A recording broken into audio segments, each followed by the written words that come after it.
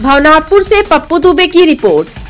पंडरिया पंचायत के नौजवानों ने घुटघुरी मैदान में बैठक किया, जिसमें सभी के सर्वसम्मति से यह निर्णय लिया गया कि घुटघुरी खेल मैदान में झंडोत्तोलन का कार्यक्रम किया जाएगा।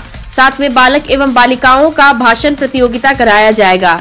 जिनका अच्छा परफॉर्मेंस होगा, उनको सम्मानित करने का निर्णय लिया गया। इस मौके पर अजय कुमार गुप्ता, अनिल चौबे, ताहिर जी, सोमनाथ शाह राम प्रसाद सिंह याकूब अंसारी जी, ब्रिजेश कुमार शाह, सुमित सिंह, पंकज कुमार, अभिषेक कुमार, अतुल कुमार, कामेश्वर सिंह, कपिल शाह, प्रवेश शाह, दुधेश्वर शाह आदि लोग उपस्थित थे।